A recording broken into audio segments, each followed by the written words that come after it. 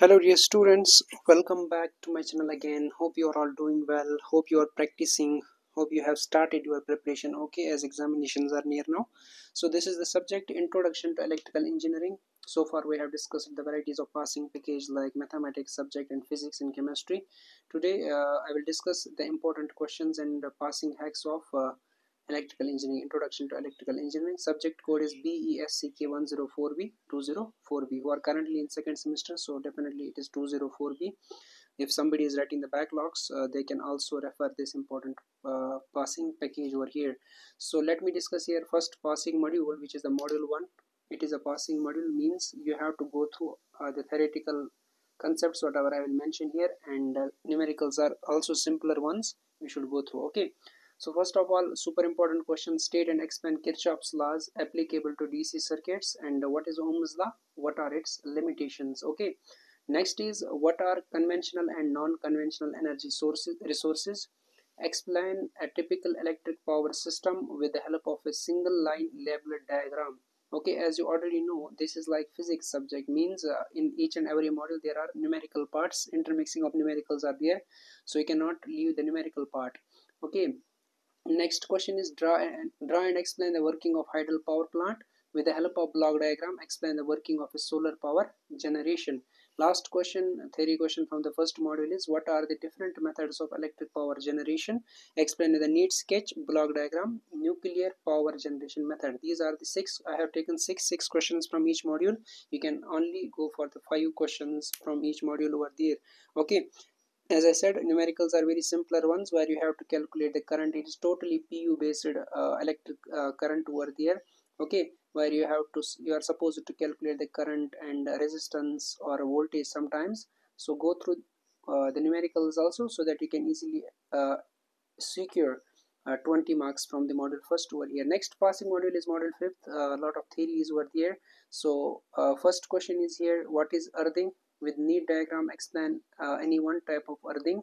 And uh, what is uh, electric shock? List the preventive measures against the electric shock over there okay? Next is uh, explain working principle of fuse and miniature circuit breaker that is MCB and explain uh, two-way and three-way control lamp with the neat diagram. It is a super important question. Last define unit and tariff. Explain the two-part uh, tariff uh, with its merits and demerits. And go through the numerical parts which are very simpler ones. Okay these are the theory questions that are I discussed. These are the super important questions. Okay go through only these five questions. Next passing module is module 4 in which you have to cover explain the working principle of a single phase transformer and its, and its necessity in power system Next is derive uh, EMF equation of a single phase transformer with usual notation. Okay. Next is uh, explain how rotating magnetic field is producing in the three-phase induction motor. Explain different losses that occur in a transformer. Uh, differentiate between slip ring and squirrel cage rotors. Write down their significance and simple numericals are there and uh, you should at least try some numericals over there. Okay, these are the five questions which you have to take from the module fourth.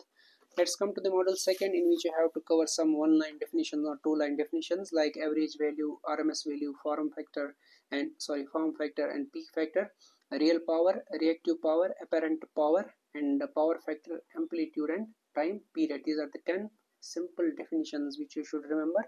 Uh, any definition they will ask you in the examination.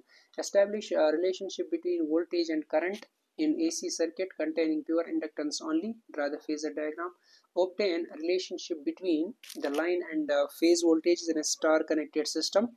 Explain the generation of three phase AC what are the advantages of three phase or single phase system?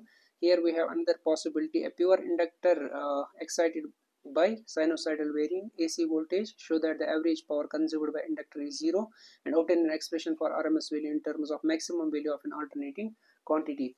Uh, there is the vast syllabus for the module second. Uh, you can also refer uh, syllabus copy. So I have taken uh, six questions from the module second which you have to go through. Otherwise there are a lot of possibilities of questions which may come in the examination.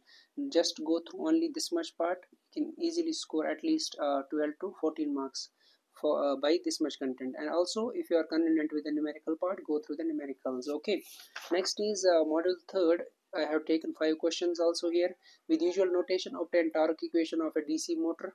and with the help of a neat diagram explain the construction of DC generator. Derive EMF equation of the DC generator also. Explain the characteristics of DC shunt motor. Explain the speed control of DC shunt motor with neat diagram. What is back EMF write its significance and write down the classification of DC generator. And if you find some easiness in the numerical part as I earlier told you it is the intermixing of numericals okay? By theory on uh, itself we can pass but sometimes uh, VTU is setting the papers uh, quite differently. They are asking sometimes two two numericals from the modules okay? So that becomes the uh, 14 or 12 marks of numericals so uh, you should not take the risk. That is why i'm telling you you should go through numericals also okay? I can say it is the 60 40 60 theory and 40 numerical so it is up to you now uh, how much you will practice for the numericals that will be better for you people and you will be on the safer side. So i wish you all the best for your examinations. Thanks dear